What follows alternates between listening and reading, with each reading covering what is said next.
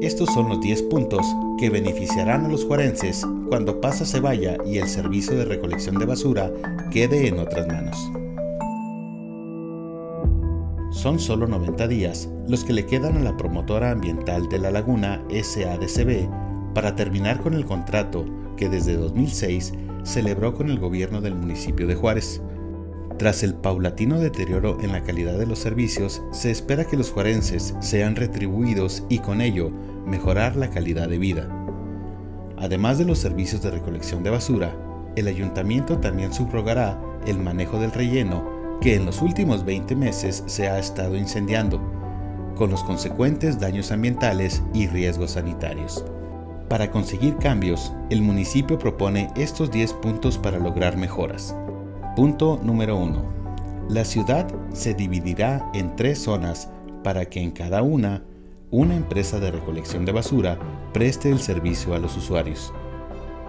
Punto número 2. Cada empresa tendrá que contar con una flotilla de 50 camiones último modelo, los cuales tendrán que renovar en el séptimo y octavo año de uso.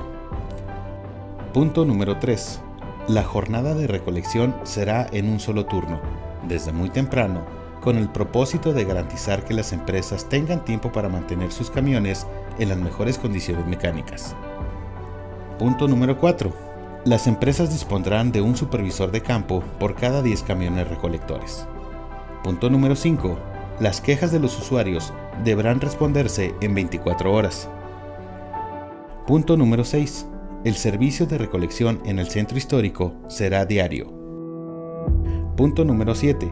Contratarán a una empresa diferente para que exclusivamente opere, controle y vigile el manejo del relleno sanitario, apegada a la norma oficial mexicana 083 de Semarnat.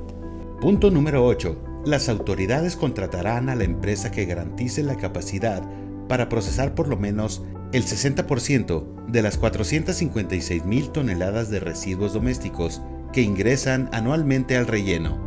Punto número 9. En cinco años, los juarenses tendremos que separar los residuos orgánicos e inorgánicos. Punto número 10. Los desechos depositados en el relleno serán compactados y cubiertos en las celdas en un tiempo máximo de 24 horas, lo cual traerá beneficios ambientales y reducirá el riesgo de incendios. Con esta decisión colegiada, el presidente convocará próximamente a un concurso nacional para seleccionar a las empresas que presentan las mejores propuestas.